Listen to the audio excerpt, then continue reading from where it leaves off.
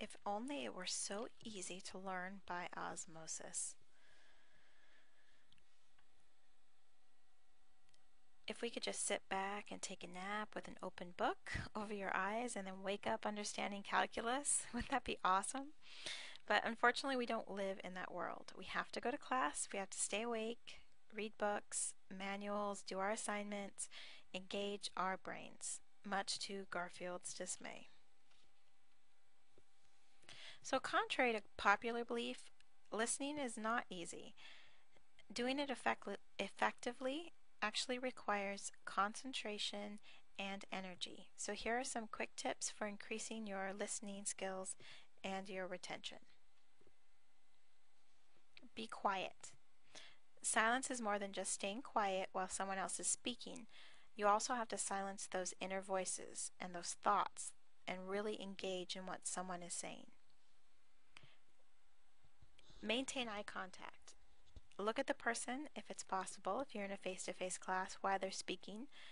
Doing so, it demonstrates your attentiveness to the person who's speaking, but it also helps keep your mind from wandering.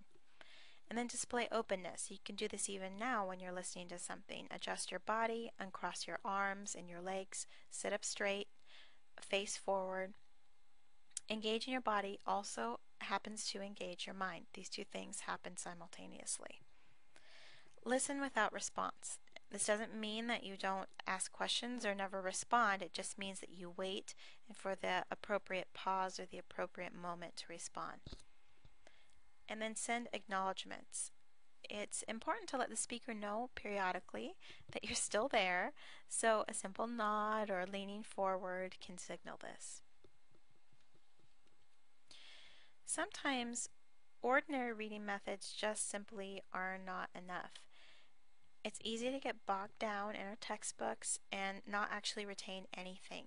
So, the key to effective reading is to remember to not expect to be entertained. So, you don't read your textbook uh, like you read a novel. So, you get into this reading strategy together, and then your next reading time will actually be worthwhile. So let's talk a little bit about how we do this. One reading strategy that is strongly encouraged is SQ3R survey question, read, recite, and review.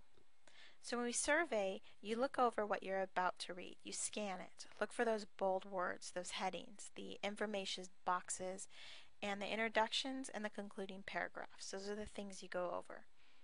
Then you question. Question what you're looking at. Ask yourself, what do I already know about this subject?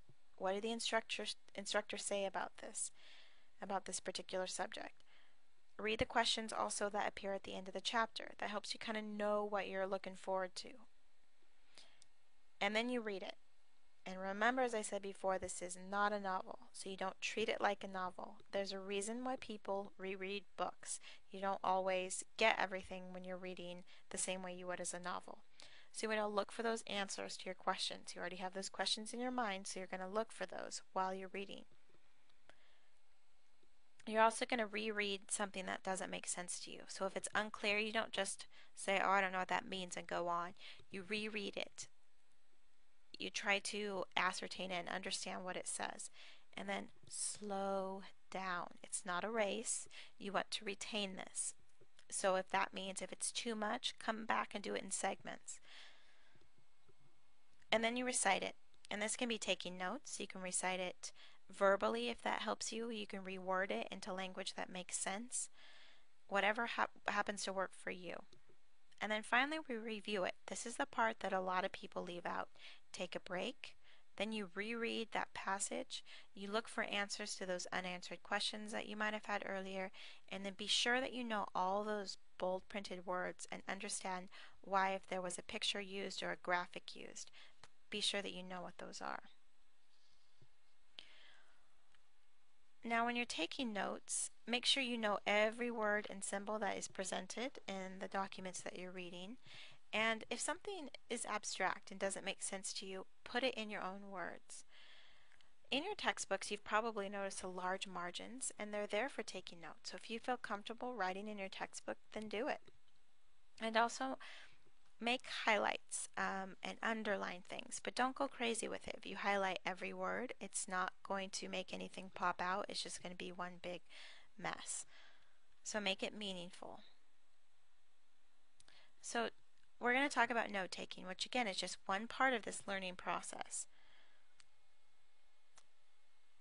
Effective note taking actually has three parts. You observe, record, and then you review. So we talked about observing, this is the recording part, and then finally you review. The best notes, they're not too detailed, and they're also not too limited. They're designed to be this quick reference to data and lecture highlights that help you when you're studying later on. So you can use um, margins for your graphic signals if you want, if that's easy for you. Develop a glossary if you're using shorthand so you remember what you used. Shorthand essentially is the same as like when you use texting language, you are generally just making things into shorthand and you can do the same thing. You can use symbols or whatnot.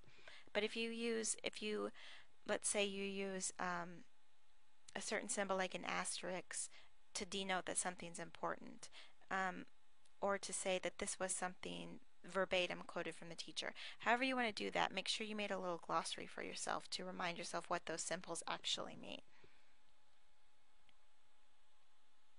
So keep your pen in your hand. This may sound silly, but when you put your pen down, then that makes mental vacations all the more easier. So keep that pen in your hand and then write down, if your instructor explains something, always write that down. Make note of any concepts or rules or techniques that they emphasize. When an instructor emphasizes something, it generally means that it's important. Ask questions, again, at the appropriate time.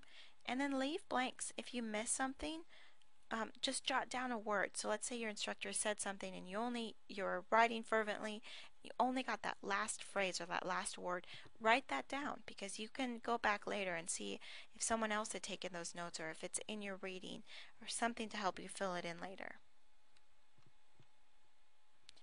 And finally, tips for studying. I'll let you read these yourself, but you can, it's very important for you to create a schedule for your studying. And this may sound silly, but I promise you it will change the way you study. The schedule should be bulked up at the beginning of the week when you're not tired, when you have more energy and you can complete readings and outlines and better review them. Don't spend more than two hours on any given topic. So don't give let's say you set aside six hours on Saturday to do your work, don't do more than two hours in any given area. When you do that, it just makes your work less um, effective and your mind just really has a difficult time staying on task. So it's good to kind of keep two hour windows and blocks in your studying time.